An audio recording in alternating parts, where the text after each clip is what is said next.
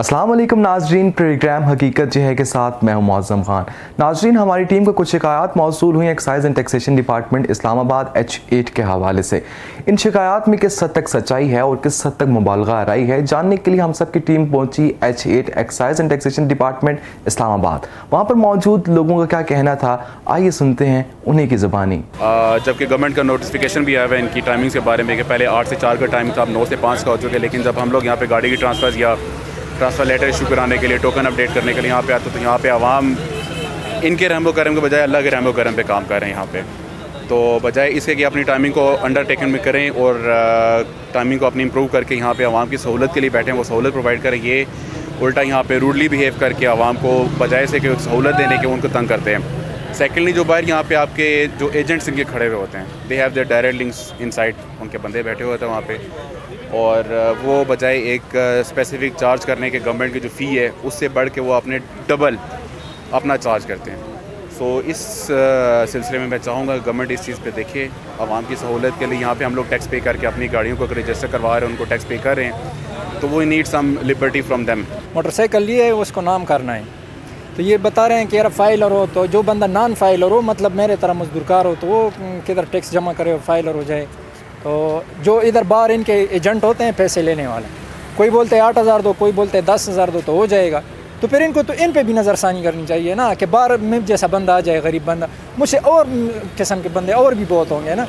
تو وہ باہر جو آٹھ ہزار، دس ہزار مانگ رہے، بس ٹھیک ہے، فائلر کی پھر ضرورت نہیں ہے، نام ہو جائے گا گاڑی آپ کی، موٹر سائیکل نام ہو جائے گا۔ تو یہ طریقہ تو سر اس پہ تو ہمیں بہت جو ہے نا تکلیف ہے ادھر، مشکلات کا سامنا ہے۔ تین مہینے ہو گئے ایکسائز والے تنگ کرتے ہیں، پریشان کرتے ہیں۔ ابھی تک نمبر پلیٹ نہیں دی ہے مجھے اور ابھی مجھ سے بیس ہزار پانچ سو روپئے انہوں نے لیا ہے جبکہ چودہ ہزار تین سو بانوے روپئے کی سلپ نکلی ہے۔ تو اس کے باوجود بھی وہ پیسے بھی اور طرف کر رہے ہیں اور ابھی کہتے ہیں فوٹو کاپیاں کرا کے لاؤ، آج صاحب نہیں ہے۔ صبح آئیں گے، شام کو آئیں گے، کل آنا اور ادھر پیچھے جو بینک کی گاڑی لی ہے وہ تنگ کرتے ہیں کہ ہم گاڑی آپ کی اٹھا لیں گے۔ تو ادھر آتے ہیں تو یہ پورا دن ایسے ہی جو ہے نا صبح نو بجے کے آ کے ابھی آفس بند ہو گیا لیکن کچھ کام نہیں ہوا ایسے ہی واپس جا رہے ہیں۔ جہاں پر بہت سارے لوگوں نے ادارے کی کارکردگی پر اطمینان کا اظہار نہیں کیا وہاں پر کچھ لوگ ادارے کی کارکردگی سے مطمئن بھی نظر آئے۔ پچھلے کافی عرصے سے تو ایکسائز میں کافی اچھا سسٹم ہو گیا۔ پہلے جب بھی ہم یہاں پہ آتے تھے تو یہ جو ایجنٹ لوگ ہوتے ہیں نا وہ بہت زیادہ آتے تھے۔ کوئی کہتا تھا کہ میں کام کروا دیتا ہوں کوئی کہتا ہے میں کام کروا دیتا ہوں۔ کہیں تو کہتے تھے کہ ہم جو ہے نا آپ سے اتنے پیسے لیں گے، کہیں کہتے تھے کہ ہم تین ہزار لیں گے، کوئی پانچ ہزار، کوئی چھ ہزار، ویسے فیس جو ہوتی ہے وہ بارہ سو یا پندرہ سو روپے ہوتی ہے۔ تو اب یہ ہے کہ اب وہ جنٹ شنٹ جو ہے، ان سے جان چھوٹ گئی ہے۔ ویسے سسٹم بڑا اچھا ہو گیا ہے۔ ساری ونڈوز بن گئی ہیں۔ تو ہمیں تو ان سے اب کوئی کمپلین نہیں ہے۔ ابھی میں نے ابھی بالکل پانچ منٹ پہلے گاڑی جو ہے وہ ٹرانسفر کروائی ہے۔ تو ٹوٹلی ہارڈلی میرا کوئی ایک گھنٹہ نہیں لگا ہوگا۔ ہم تو یہاں پہ آئے ہیں ٹوکن وغیرہ جمع کروانے کے لیے۔ تو بڑی دیر کھڑے رہے ہیں، ماشاءاللہ اور تو کوئی پرابلم نہیں ہے، لیکن بینک ٹائمنگ جو ہے اس میں پرابلم آ رہی ہے کہ نو بجے سے لے کے پانچ بجے کی ٹائمنگ ہے۔ لیکن یہ یہاں پہ تین بجے بینک بند کر دیتے ہیں، اس کے بعد لوگ خوار ہوتے ہیں یہاں۔ پلا سارا موجود ہے، جدھر بھی ہم گئے ہیں کاپریٹ ہوا ہے ہمارے ساتھ، کسی نے کوئی فالتو پیسے بھی، کوئی چیز ایسی نہیں مانگی۔ ایجنٹس کا کام ہی نہیں، ہم گئے ہیں مطلب جس طرح وہ آلریڈی ایک اچھا سسٹم ہے، اس کے مطابق ہوا ہے۔